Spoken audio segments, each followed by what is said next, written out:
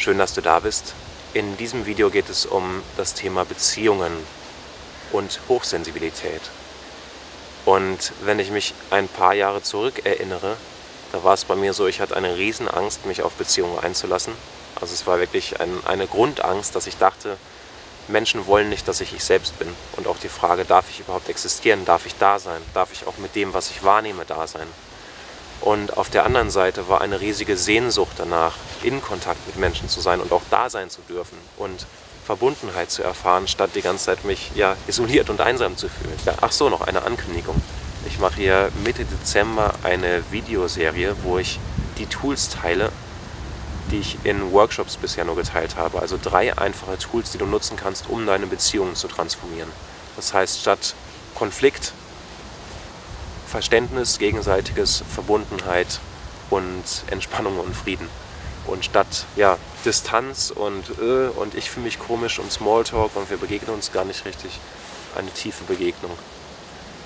Und ich bin überzeugt, dass wenn alle Menschen diese Ebene der Kommunikation kennen würden, dass es da wesentlich weniger Kriege und Konflikte gäbe. Deswegen, wenn dich das interessiert, trag dich unten ein. Ich würde mich riesig freuen, wenn du dabei bist, weil das gibt es nicht auf YouTube. Das ist exklusiv auf meiner Webseite dann. Da teile ich das. Und dann sehen wir uns vielleicht da. Ja, der Punkt ist natürlich, ich habe mich erst dadurch isoliert und einsam gefühlt, dass ich selbst mein Herz zugemacht habe, aus Angst heraus verletzt zu werden. Oder aus Angst heraus dass meine Angst bestätigt wird, dass mir andere rückmelden, ja, du darfst wirklich nicht da sein, das finden wir nicht gut. Und ja, das ist kein schöner Zustand, kann ich sagen. Äh, es ist für mich nach wie vor ein Prozess, durch diese Ängste zu gehen. Also auch diese Angst, nicht existieren zu dürfen, kommt immer wieder hoch. In dunkleren Zwiebelschalen nenne ich es mal. Und jedes Mal kann ich es einfach nur zulassen und fühlen und dann klärt sich's und dann zeigt sich auch im Außen, ich darf da sein und es bestätigt sich. Es gab die Frage, kannst du was zum Thema Bindungsangst sagen auf YouTube in einem Kommentar? Danke dafür, das möchte ich auch hier aufgreifen. Und ja, mit Bindungsangst sehe ich, da sehe ich letztendlich genau das gleiche Thema dahinter. Das heißt, wenn ich glaube, dass ich nicht da sein darf, dann habe ich auch Angst, mich zu binden oder mich einzulassen, weil wenn ich mich einlassen würde, dann wäre ich ja da. Und das ist als erstes ein mich einlassen auf mich selbst, gar nicht mehr auf ein Gegenüber, sondern erlaube ich mir da zu sein, sage ich Ja zu mir. Und wenn ich Ja zu mir sage, dann kann ich auch erst Ja zu einem Gegenüber sagen. Und dann kann ich mich auch in einer Partnerschaft oder in einer Beziehung erfahren und das als angenehm empfinden und dass es ein Spiegel ist, den ich vorgesetzt bekomme von, das bin ich, das ist wunderschön, ich bin glücklich darin. Wenn ich das Gefühl habe, ich darf nicht da sein und wenn ich Angst habe, mich einzulassen, dann kriege ich den Spiegel vorgesetzt, der mir genau das bestätigt. Nämlich, dass, ja, was auch immer an Ängsten getriggert wird, an Gefühlen. Und ich sehe, dass es einfach, dass in einer Partnerschaft, in einer festen Beziehung erst der Raum entsteht, dass ich an tiefere Punkte komme, wo ich so verletzt bin durch irgendwas, was früher passiert ist oder wo ich irgendwas missverstanden habe, wo ich eine Erfahrung gemacht habe früher, die nicht wahr ist, sondern die, ja, die wehgetan hat. Und erst in einer Beziehung geht bei vielen dieser Themen, glaube ich, der Raum auf, mich darauf wirklich einzulassen.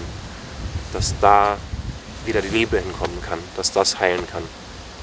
Weil wenn ich mich nicht darauf einlasse, wenn das so ist, heute bin, bin ich hier, morgen bin ich da, dann, ja, dann schwebe ich einfach an der Oberfläche herum.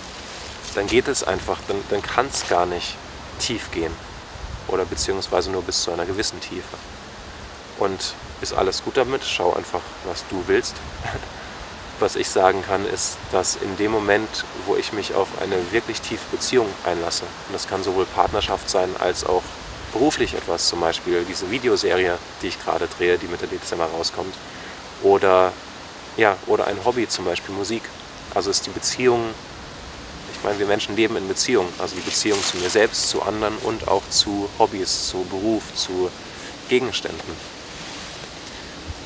Was wollte ich sagen? Ja, in dem Moment, wo ich mich wirklich einlasse, was dadurch auch passiert ist, dass Reizüberflutung bzw. Überforderung durch Reizüberflutung wegfällt, weil ich mich einfach für eine Sache entscheide und sage, ich mache diese Sache und die richtig. Und dann geht es auch nicht mehr darum, weil früher hatte ich den Gedanken, ich will frei sein. Ich möchte so frei sein, dass ich alles erkunden kann und alles äh, ja, um die ganze Welt reise. Und ich bin so frei, dass ich nichts von dem allen wirklich tief erlebe, weil ich eben nur an der Oberfläche bin. Und gerade lasse ich mich aufs Gitarrespielen ein, also darauf Gitarre spielen zu lernen und auf die Musik äh, viel tiefer. Und da ist es genauso wieder. Es kommt eine Menge Frust hoch, es kommt eine Menge Kram hoch an Gefühlen und an ja, unangenehmen Sachen. Und gleichzeitig klärt sich das und mein Herz fängt immer mehr an zu strahlen. Und die Liebe zu, zum Beispiel zur Gitarre, wird immer größer über die Zeit. Gerade ist eine Frustphase. Ich hoffe, die geht vorüber.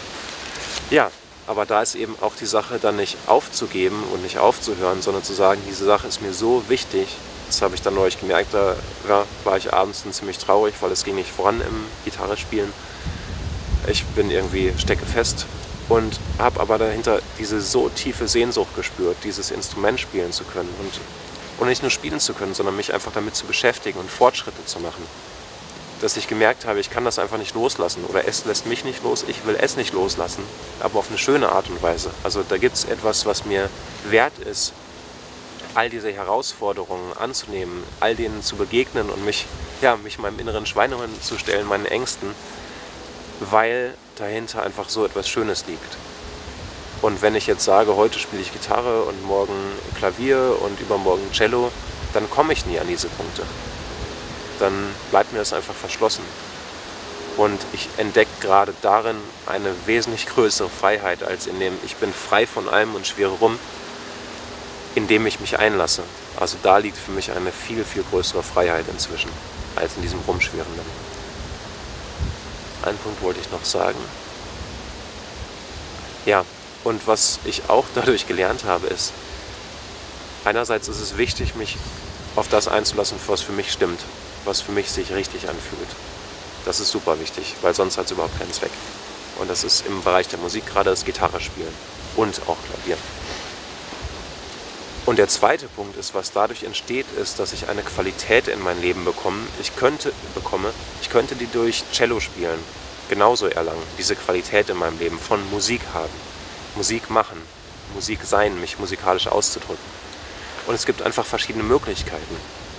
Nur ist es wie mit jedem Weg, den ich gehe. Ich kann, ja, ich kann in den Urlaub fahren und ich kann mir ein Ziel aussuchen und dann fahre ich dahin und mache die Erfahrung von Urlaub an diesem Ort. Und es ist gar nicht so wichtig, ist das jetzt dieser Ort oder ein anderer, ist das Mallorca oder die Philippinen oder, oder Bali oder Kanada. Hauptsache, ich entscheide mich und mache die Erfahrung von Urlaub. Und so ist es, vermute ich mal, in jedem Bereich, Beziehung zu mir, zu anderen, Partnerschaft, dass einfach in dem Moment, wo ich mich wirklich einlasse, entsteht eine Tiefe, entsteht ein, ein Raum, es öffnet sich ein Raum, wo erst Dinge möglich sind wie im Urlaub, wenn ich da zu Hause bleibe, dann gibt es keinen Urlaub. Das ist jetzt ein bisschen ein komisches Beispiel, aber ich hoffe, du verstehst, was ich, was ich sagen will. Ja. Und es ist super herausfordernd.